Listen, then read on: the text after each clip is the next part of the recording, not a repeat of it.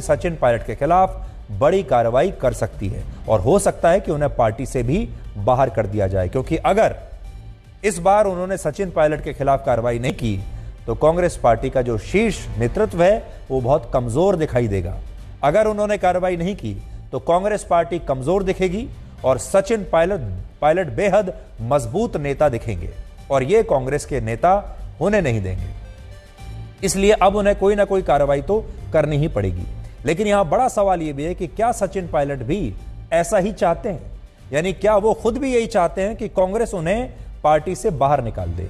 अब दोनों के बीच एक तरीके का कंपटीशन है। दोनों आमने सामने हैं, पार्टी और सचिन पायलट। सचिन पायलट खुद ये चाहते हैं कि पार्टी उन्हें निकाल दे। अब बड़ी बात यह है कि सचिन पायलट खुद निकल जाते हैं पहले या पार्टी उन्हें पहले निकालती है?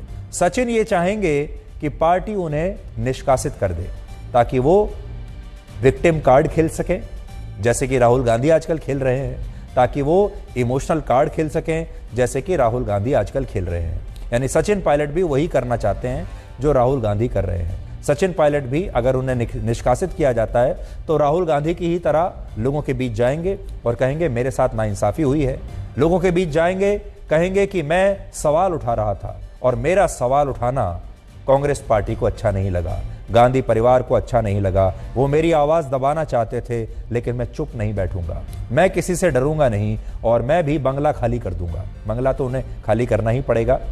बंगला खाली कर दूँगा, पार्टी की पद छोड़, का पद छोड़ दूँगा, पार्टी की सदस्यता छोड़ दूँगा, और ये सब कुछ मैं राजस्थान की जनता के लिए कर रहा हूँ। और अगर उन्होंने ऐसा किया तो राजस्थान की जनता का दिल पसीज जाएगा, और उन्हें अगले चुनाव में फ़ायदा मिलेगा। असल में राजस्थान में मुख्यमंत्री अशोक गहलोत और सचिन पायलट के बीच ये मतभेद और टकराव आज का नहीं है, नया नहीं है। वर्ष 2018 में जब राजस्थान में कांग्रेस की सरकार बनी